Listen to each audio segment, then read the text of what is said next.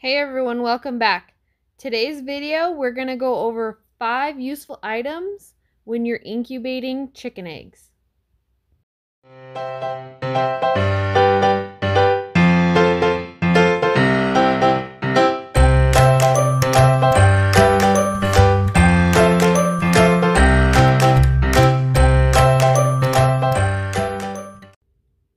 Okay, here is my five useful items when you're incubating eggs, plus one bonus item at the end.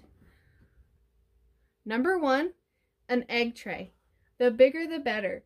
Um, I always find this super helpful when I'm candling eggs. I can transfer as many eggs as I can from the incubator over into the egg tray and take them to where I'm candling them. Um, and that way I'm not having to juggle around multiple cartons or things like that. It's all in one tray. And that way I'm not opening my incubator over and over and over again to just get out one egg. I can get a clutch at a time. All right, item number two, a pipette.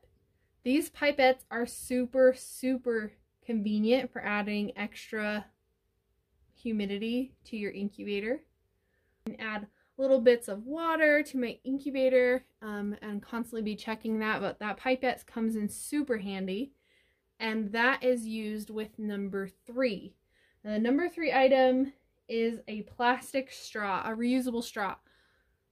So this one is um, long enough that it reaches all the way to the bottom of my incubator. If I do need to add extra humidity, I can be extra careful to not get it on the eggs simply just put this through one of the vents and then um, grab your pipette and pipe your water down through that and into the bottom of your incubator.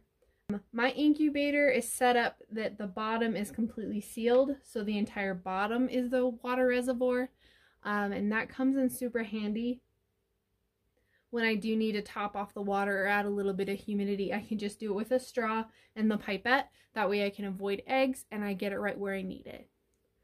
All right. Item number four, um, paper towels. I love using paper towels in the bottom of my incubator.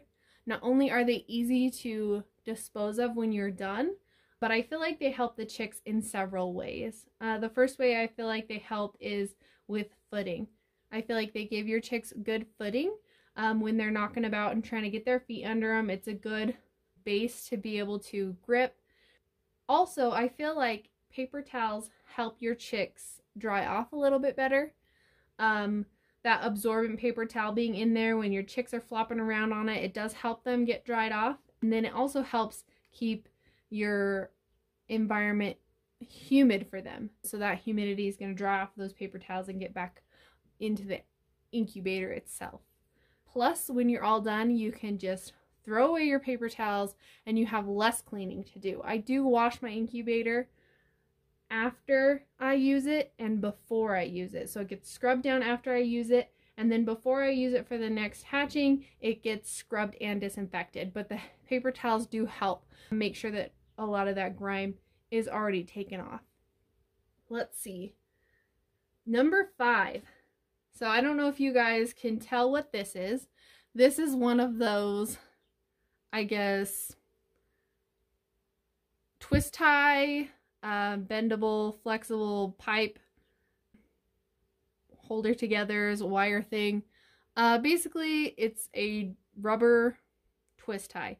But I love this. Um, I use it all the time when I'm incubating. Uh, what I use it for is usually to reposition things in the incubator. I have a mercury thermometer in the bottom of my incubator. And uh, there's been a time or two where it's, I guess, got misplaced when I've candled eggs. And so I've had to move it back into my viewing area. And I'd rather not open it if I have to. And so this slides down the vent hole really easily. I can position it and move it however I need um, to get it in there. And then since it's rubber and pretty grippy, um, I was able to move that thermometer into my viewing area so I could read it better. Another bonus that I use this for is when my chicks are hatching, I like to check on them. And so if I'm not sure if an egg has pipped or not, I can always stick this down in there and just roll the egg ever so gently to check the side to see if it's pipped or not. Uh, it also helps in repositioning eggs. Um, so if like an egg is kind of pinned in the corner, you can gently roll it back into the main area. This is so handy um, for when those chicks start hatching out and you need to intervene without opening your incubator up and exposing all of your hard worked humidity and heat to the air. All right, last is our bonus item. My bonus item is my spotlight. What I love so much about this spotlight is it doubles as my candler. So this spotlight has a flat base and a locking mechanism to keep it locked in on position. So I can just set it wherever I need it, lock it and turn it on, and then set my candler on top of it and be able to candle eggs with both hands instead of having to hold something with one hand and candle with the other. This has definitely made it so much better to candle with. I am not struggling. I don't need help. I can do it on my own. And so, yeah, having a way to candle your eggs that you can kind of be hands-free um, is my bonus tip for success. I hope everybody enjoys incubating. I hope everyone has the success that they're looking for. And happy incubating, everybody. As always, thanks for watching.